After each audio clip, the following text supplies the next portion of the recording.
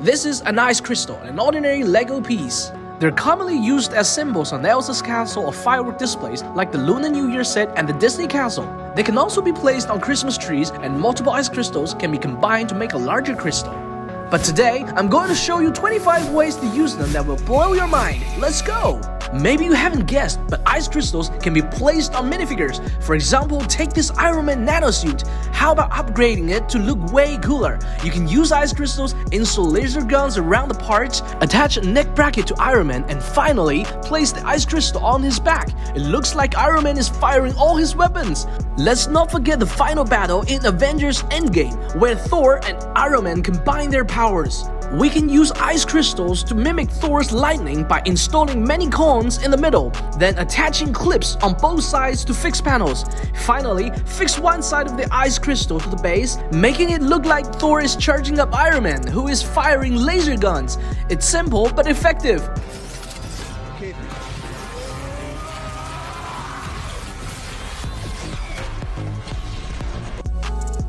We can also insert a bar with a tow ball into the ice crystal, add a wheel, and create a spinning top. But it's challenging to rotate the top by hand, so we need a spinning top launcher. Using a large gear to drive a small gear achieves a tremendous acceleration, and adding an elastic band provides power. Surprisingly, the ice crystal spinning top is very stable. We can also try adding a round brick and cone to the ice crystal for interesting details, creating a larger top. This reminds me of the spinning top toys that I used to have.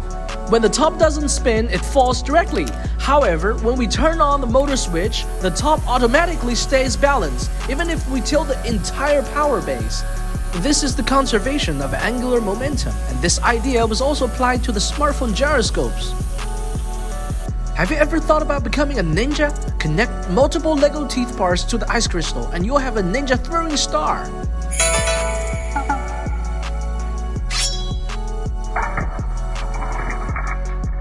Back to the ice crystal. The minifigure posing stand can be used in combination. The posing stand can be installed around and even illegally assembled.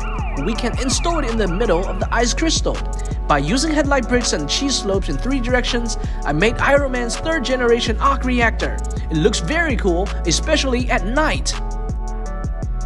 By the way, I made a LEGO gumball machine that works with real coins and gumballs. If you like it, please go to the LEGO Idea website and hit the support button. Your help means a lot to me. Many thanks! The ice crystal can also be used to connect bricks of different shapes, creating unique formations, such as this Reuleaux triangle. When it rolls, the highest point remains constant and the triangular wheels can run smoothly. It can also transform into a Wankel engine, a compact and niche type of engine, which has a higher power to weight ratio than a piston engine. You'll find that round with open stud and ice crystals are a perfect match. This way, you can install more parts around the ice crystal bricks, tiles, minifigs, bars, slopes, and even technique parts. It fits almost any LEGO parts. By adding some adjustments, I can easily build a wall with two sides that features Bruce Wayne on the one side and Batman on the other side. I'm Batman! With two ice crystals, you can create an internal support for a cylinder. Attach six tiles and you have a cylinder.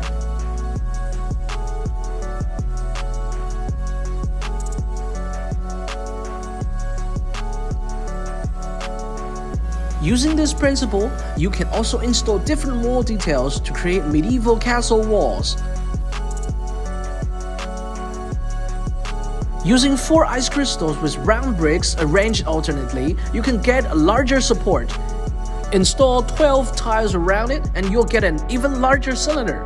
In fact, I used this structure to build the trunk of my Christmas tree.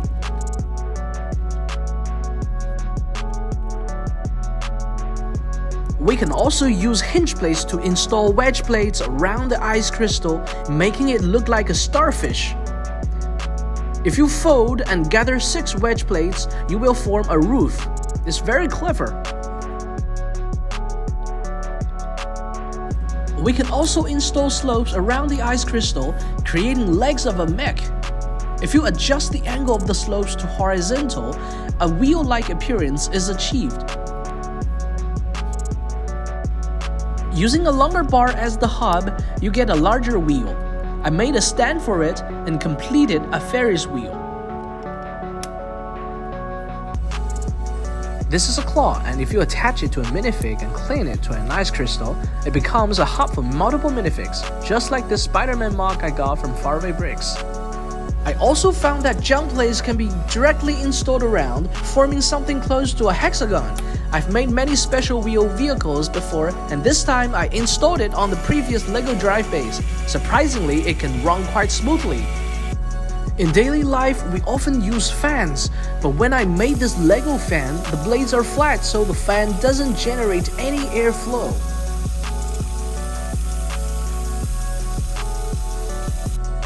But if I use clip plates to fix the plates and then fix the blades to the ice crystal, I am able to adjust the angle of the blades.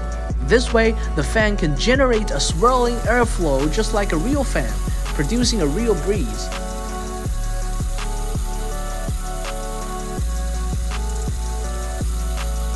I think the next idea is kind of insane. I used ice crystal in a mechanism, not just for different shapes. We can use bar with light cover parts to install around the ice crystal, creating a gear. Due to the circular shape of the edge, there is no obvious jabbing between gears, and they can rotate smoothly. Of course, they can also be vertically driven. If you place a platform on top, it can be used as a rotating display stand for LEGO models, such as this LEGO Gundam that I built before. When you don't have large gears, this ice crystal is an excellent alternative. Earlier, I built a perfect circle. If you remove one of the slopes and install another ice crystal with a round brick on one side, you will get a core component of the Geneva drive.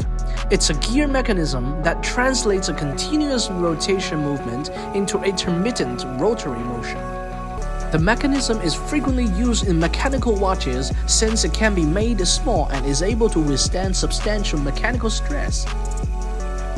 I also tried using ice crystals to build a flower. First, I vertically installed slopes around it using clips, then created two identical petals that interlocked vertically. Afterward, I made a relatively small petal, similarly interlocked. Next, I attached the smaller flower to a bar and inserted it into the ice crystal, the same illegal build I used before. This completed the flower, and adjusting the angles of the petals made it look quite appealing. Most of the previous constructions were done on a flat surface, but how can we use ice crystals to create a three-dimensional structure?